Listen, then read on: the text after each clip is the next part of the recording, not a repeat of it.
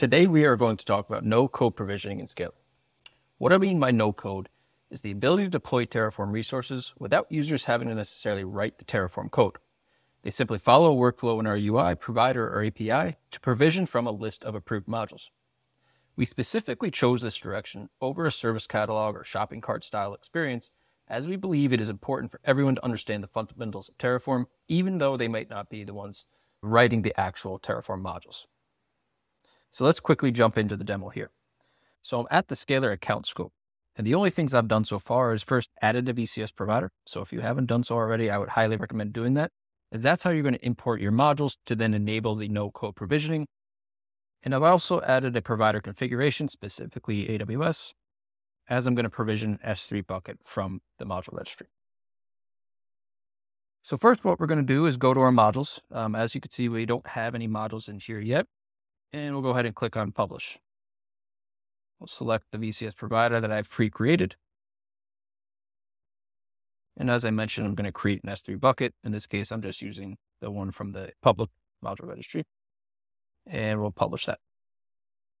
Now we're going to take a few minutes to pull that down into Scalr, display the README, show all the different versions and whatnot.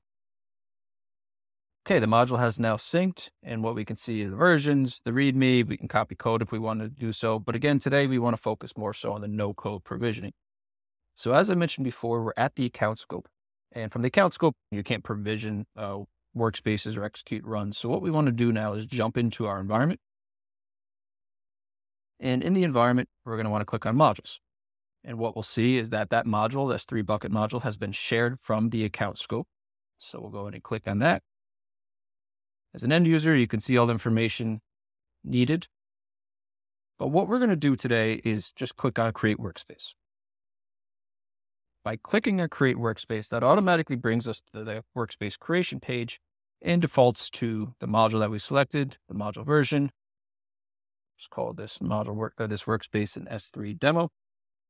And you have other options around passing var files or the pipeline settings. Uh, but for now, we're just going to click on Create Workspace. Like when I click on create workspace, that's going to start pulling the configuration file in. And part of that configuration file is variables. And, in this case, Scalr notices that there are some required variables.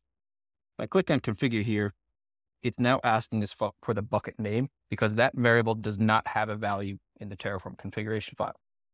So we'll call this scalar one, two, three, four, five, six. Click create finish. And now we're ready to run. So I'll go ahead and click that. And now you can see we have a run execute. So all we really had to do is publish a module as an end user, go to the module registry, select the module we wanted, deploy it as a workspace, and then fill in the variables that were required by the module. So again, from an end user perspective, I wasn't required to know how to create a Terraform module but I could still consume that module, still understand the details, still understand the concepts of Terraform, and create the, the bucket directly from the module registry without having to write any lines of code. So we'll go to approve that and it's going to create the S3 bucket for us. But let's say in a day or two, a new version is released and we want to actually upgrade that. So again, I don't want to have to go into any code, update any code, do anything like that from an end user perspective. All I really have to do now is go up to my workspace settings,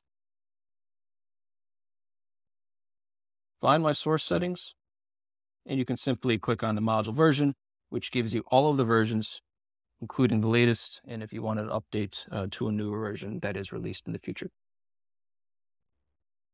That is the simplicity of the no-code provisioning in Scalr meant for any type of users, those that might be the most experienced Terraform users that just need to deploy something quickly, or those that are just starting out with Terraform and don't necessarily know how to create a module just yet.